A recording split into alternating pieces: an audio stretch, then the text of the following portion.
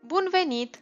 Vă propun un exemplu de organizare a unei activități de învățare pentru tema din programa școlară Operații cu șiruri de valori, algoritm de bază pentru șiruri de valori, din cadrul unității de învățare Algoritmi. Această resursă se adresează cadrelor didactice.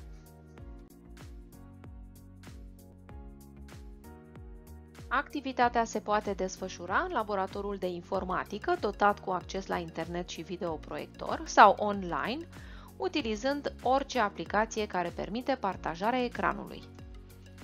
Pentru prezentarea și explicarea aplicațiilor vă propun un timp total de 40 de minute.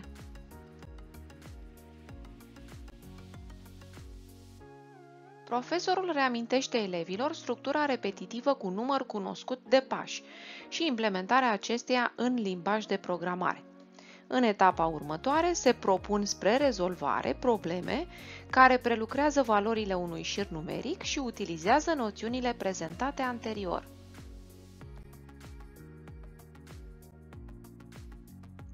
Din cele 40 de minute, vă propun ca timp de 20 de minute să prezentați elevilor filmul pe care îl regăsiți la linkul afișat pe ecran și pe care l-am inserat și în slide-ul următor.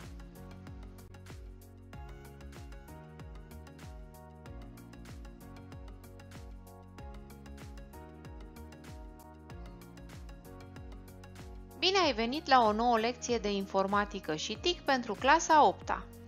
Astăzi vom descoperi împreună cum putem construi algoritmi elementari pentru prelucrarea valorilor unui șir. Aplicație practică 1.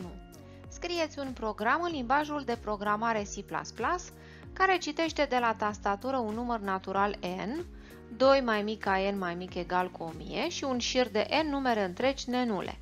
Programul afișează pe ecran mesajul da în cazul în care toți cei n termeni ai șirului au același semn și mesajul nu în caz contrar.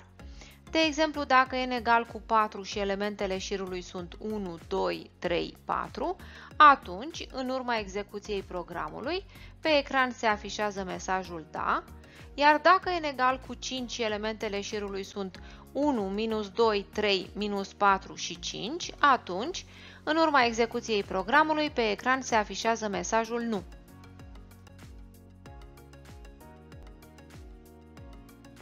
Pentru rezolvarea problemei vom utiliza o variabilă întreagă n, în care vom citi de la tastatură o valoare de intrare reprezentând numărul de termeni ai șirului.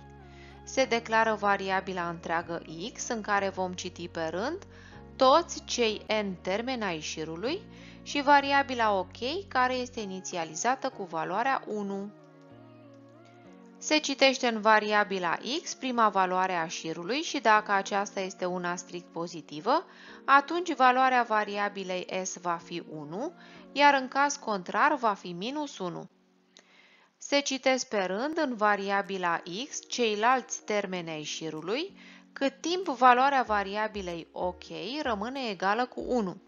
În cazul în care valoarea curentă a variabilei x este strict pozitivă și toți termenii anteriori au fost negativi, sau când valoarea curentă a variabilei x este strict negativă și toți ceilalți termeni anteriori șirului au fost pozitivi, se modifică valoarea variabilei OK la 0 și se oprește citirea următorilor termeni din șir. La finalul programului, dacă valoarea variabilei OK a rămas egală cu 1, atunci nu a fost întâlnit niciun caz nefavorabil și se va afișa mesajul da. Dacă valoarea variabilei OK a devenit 0 pe parcursul citirii elementelor șirului, atunci se afișează mesajul nu.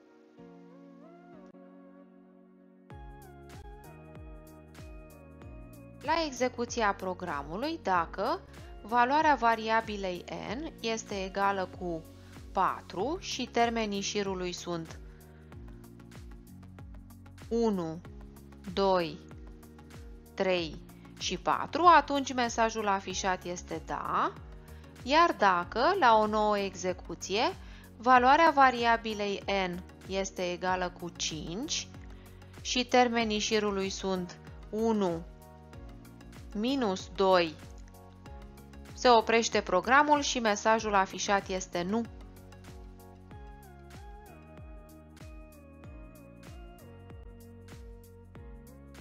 Scrieți un program în limbajul de programare C++ care citește de la tastatură un număr natural n, n mai mare ca 2 și n mai mic egal cu 1000 și un șir de n numere întregi.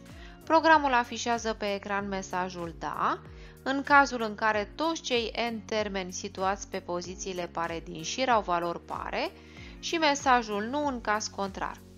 De exemplu, dacă n egal cu 4 și pe poziția 1 din șir avem valoarea 1, pe poziția 2 din șir avem valoarea 2, pe poziția 3 din șir avem valoarea 3 și pe poziția 4 din șir valoarea 4, atunci în urma execuției programului pe ecran se afișează mesajul da, deoarece elementele șirului de pe pozițiile pare sunt 2 și 4 și ele corespund unor valori pare, iar în celălalt exemplu, dacă numărul de valori din șir este 5 și elementele șirului sunt 1, minus 2, 3, 7 și 5, se observă că pe pozițiile pare valorile existente sunt minus 2 și 7, mesajul afișat în urma execuției programului va fi nu.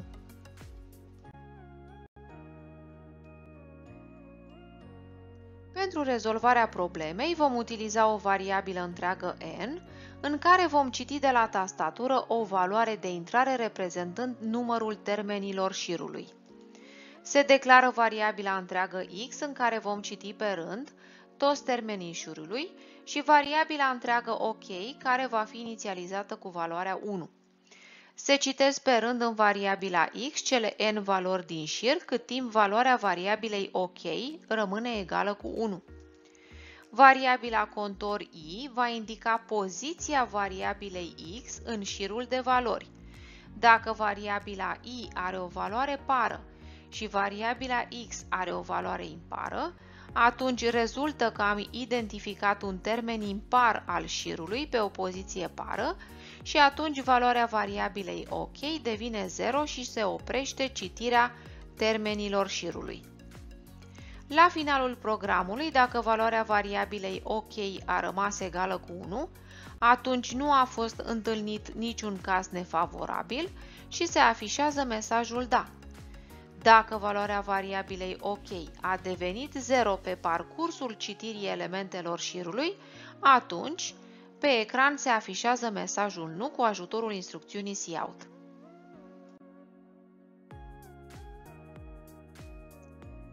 La execuția programului, dacă pentru variabila n se citește valoarea 4, iar termenii șirului sunt 1, 2, 3 și 4, mesajul afișat va fi da, iar dacă pentru o execuție următoare valoarea de intrare a variabilei n este egală cu 5 și termenii sunt 1, minus 2, 3, 7, programul se oprește și mesajul afișat este nu.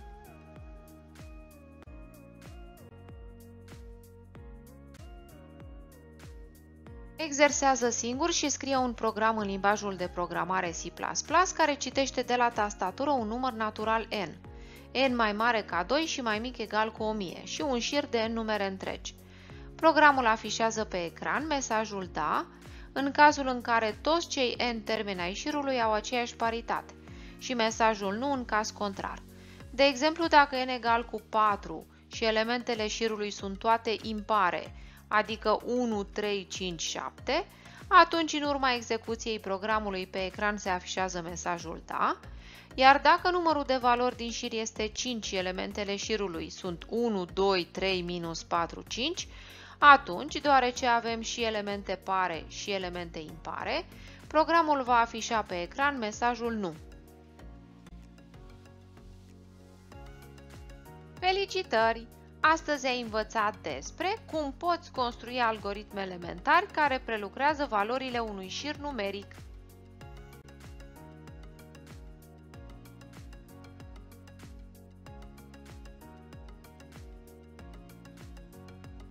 Timp de 10 minute, elevii urmăresc modalitatea de rezolvare rezultată dintr-o evaluare încrucișată între colegi, conform solicitării profesorului. În perec, fiecare elev explică colegului de bancă algoritmul identificat de el și implementarea acestuia în limbaj de programare.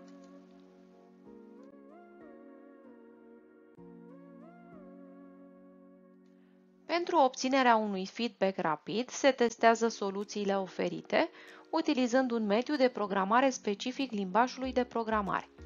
După caz, profesorul oferă explicații suplimentare la sarcinile de lucru unde elevii au întâmpinat dificultăți sau au greșit în mod sistematic.